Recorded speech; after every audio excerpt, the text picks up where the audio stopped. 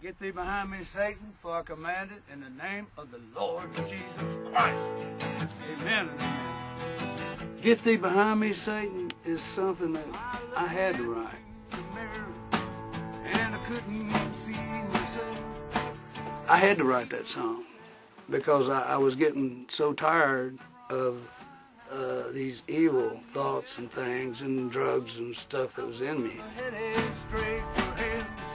But I couldn't for my life figure how to help myself. And I said, ye behind me, Satan. For I command it in the name of the Lord Jesus Christ.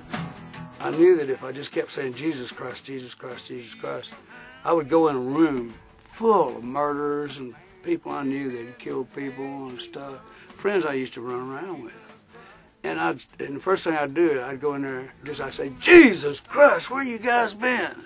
Just to get his name out there.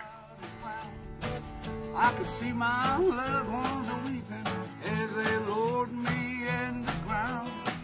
No words were spoken over me, I almost thought I died. But I knew I wasn't dead, I had been buried alive. Now I will have a drink every now and again, but I slide back a little bit, but you know, not that much. We're all sinners. We're gonna fall short.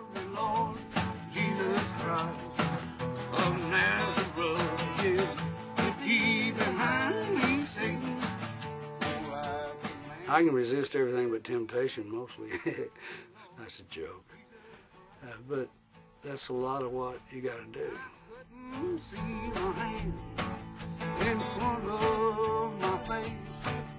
I knew that I was buried in the deepest, darkest place. The deeds I had done put me in this awful place, and I felt a stir inside me, and a smile came across my face, and I said, "We're gonna fall short. Try, but I try my best to be like Jesus. I really do every day."